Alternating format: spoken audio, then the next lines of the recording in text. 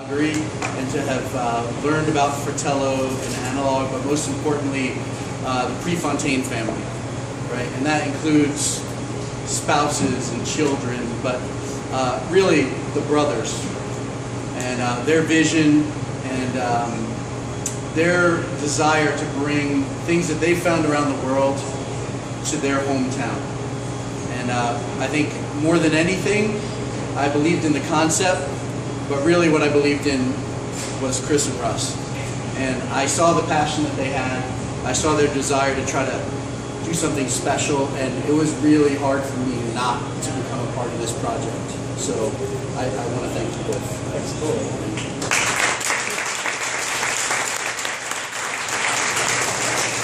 I'd also be, I'd feel terrible if I didn't mention Bishwa Pati, who is Oh, of course. our incredible pastry chef. Uh, he's another member of the team that's just ridiculously talented.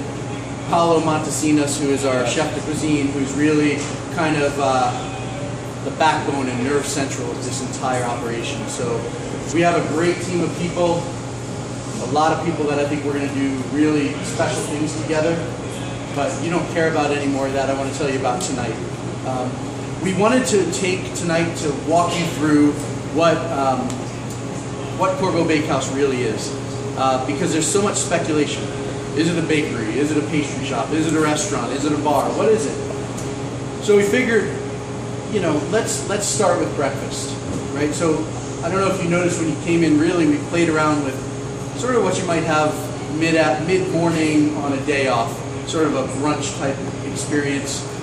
You wouldn't come in and just be roaming around and having free range of the place, I hope, but uh, you could sit down and have an experience like that, maybe a nice uh, morning cocktail, and sort of evolve.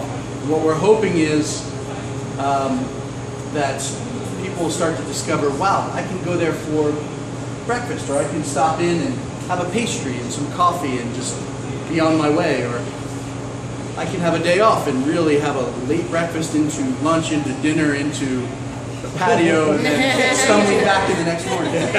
Um, but seriously, the uh, what we're going to serve, we're going to begin with the table service portion of this evening. We're going to go back to breakfast a little. Um, I really, I really love scrambled eggs. Sit back, relax, enjoy, and I hope that you find that we've done the right thing here.